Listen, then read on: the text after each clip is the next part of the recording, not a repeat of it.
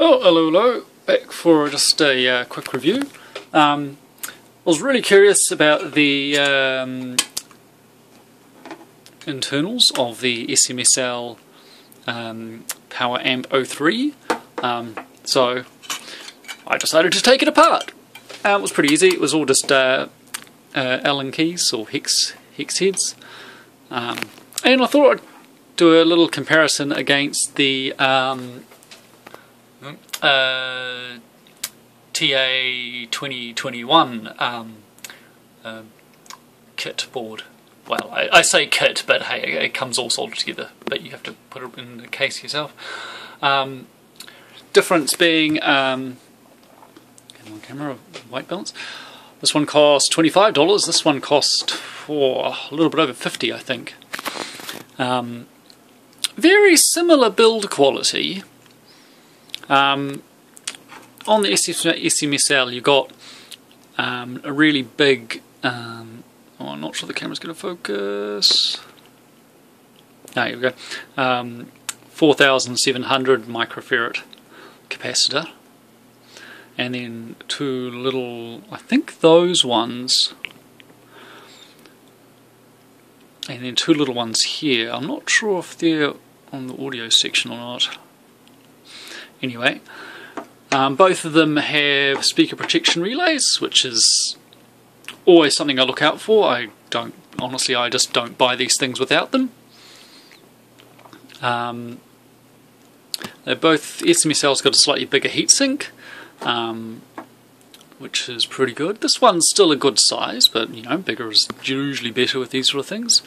Um, the ferrite chokes look about the same.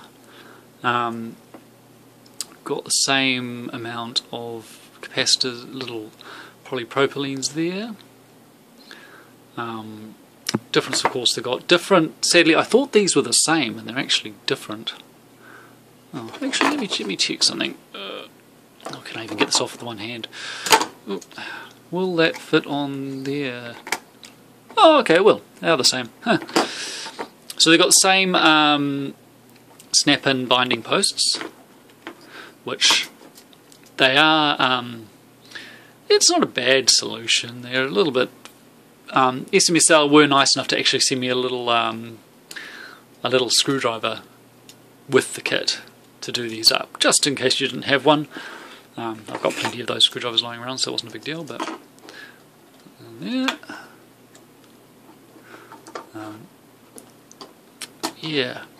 Um, I would say though that the workmanship on this one is a little bit better than the SMSL.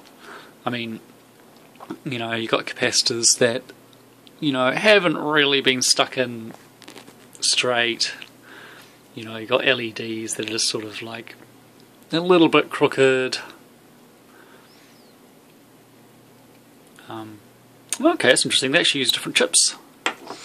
This the SMSL uses a TA2020 and this one uses a TA2021. So this one's slightly newer technology.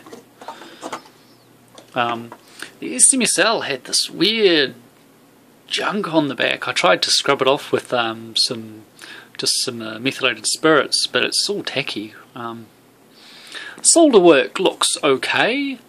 Um, there's no nothing in there that couple I wouldn't might just touch up, but most of them look okay. Um, the back of the TA 20, 2021 looks pretty damn good, really.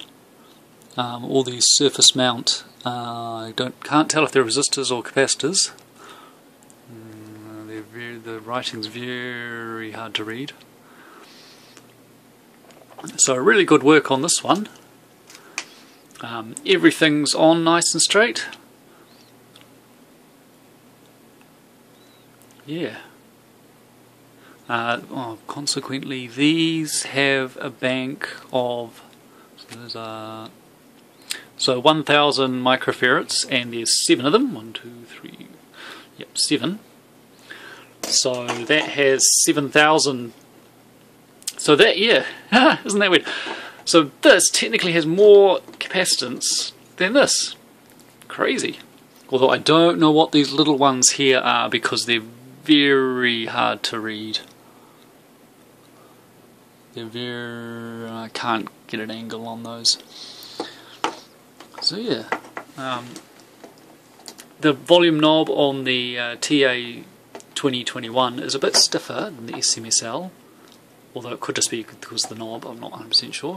Um, these well, looks like exactly the same um, power switch. So yeah, um, so yeah, if, if from a pure money perspective, the uh, the raw board, the raw 20, TA 2021, um, wins like for value for money. Like I've tested these side by side, and they sound almost well. I can't tell them apart. They sound as good as each other. Um, do be aware though that uh, you know eBay being eBay, there's there's also this model here that has two large filter capacitors, and then it's got these three up here. Um, I suspect they just send you whatever one is available at the time. I don't imagine either one sounding better than the other. Um, I mean, I'm not unhappy with this one, I'm not complaining. But yeah, um, so you want a really good 10 watt amplifier and you don't care about it coming in a nice fancy box. 25 bucks to your door, awesome value. If you need it to look pretty, you know, get the SMSL in the case, but you know, you, you, you honestly, you're paying 25 bucks for a $5 aluminium enclosure. you know, you could chuck this in a, in a Tupperware or something and it would sound just as good. Alright, that's me, my two cents on two great little amplifiers. Signing out.